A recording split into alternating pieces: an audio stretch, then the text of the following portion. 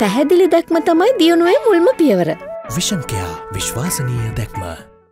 මේ රටේ විශේෂෙන්ම මැතිවරණ කොමිසමෙන් පවා අපි ඉල්ලනවා දෙදස් දහනමේ හැට නම ලක්ෂයේ මේ මහා ප්‍රගතිශීලී ජනවරමට දේශප්‍රේමි ජනවරමට ඒ ජනවරමේ අභිලාෂ ඒ සෞභාග්‍යමත් ශ්‍රී ලංකාව නිදහස් ශ්‍රී ලංකාව ප්‍රීතිමත් සමාජයක් නිර්මාණය කිරීම සඳහා වෙච්ච මේ අභිලාෂය දැන් ඉෂ්ට කරන්න ඕන කරනවා ගුණවත් නැනවත් බලවත් පාර්ලිමේන්තුවක්.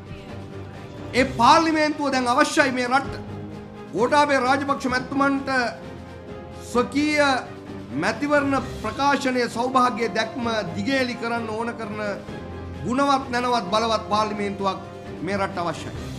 මේ රටේ ප්‍රජාතන්ත්‍රවාදය සුරක්ෂිත කරන්න මේ රටේ ප්‍රජාතන්ත්‍රවාදය නැවත වතාවක් අරුත් ගන්වන්න ඒ ගුණවත් නැනවත් පාර්ලිමේන්තුව අවශ්‍යයි.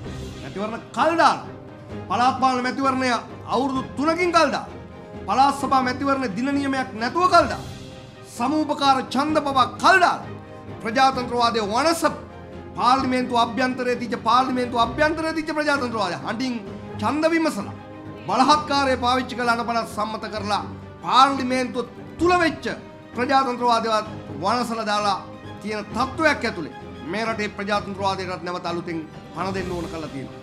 69 ලක්ෂ ජනවරමට ඕන කරන අභිලාෂය ඉටු කිරීම සඳහා වුවමනා කරලා තියෙනවා. ඒ නිසා අපි මැතිවරණ කොමිසමෙන් ඉල්ලනවා සෞඛ්‍යංශ ස්වකීය සහතිකය කොයිඩ්-19 වසංගතය පාලනය කර තිබී තිබේයයි තමන්ගේ සහතිකය ලබා දීපු වෙලාවේ. ඒ සඳහා ජනතාවගේ ජීවිත සුරක්ෂිත වෙන කරන්න පුළුවන් පළමු තත්පරේ පළමු තත්පරේ මැතිවරණය පැවැත් යුතු ආකාරයන් තීරණය කළා. ජනතාවගේ ජනාභිලාෂ. ජනාභිලාෂ 69 ලක්ෂයේ ජනාභිලාෂ. ප්‍රජාතන්ත්‍රවාදී ජනාභිලාෂ. ක්‍රියාත්මක කරන්න ඕන කරන පාර්ලිමේන්තුවක් ගුණවත් නැනවත් බලවත් පාර්ලිමේන්තුවක් නිර්මාණය කරන්න පාර්ලිමේන්තු මැතිවරණය පවත්වලා ඒ ඒ මහා අභිලාෂ ඉදිරියට ගිහිල්ලා මේ රටට සෞභාග්‍යත් නිදහසත් ප්‍රීතියත් ගේන්න පුළුවන් වාතාවරණයක් නිර්මාණය කරන්න කියලා අපි ඉල්ලා හිටිනවා. .lk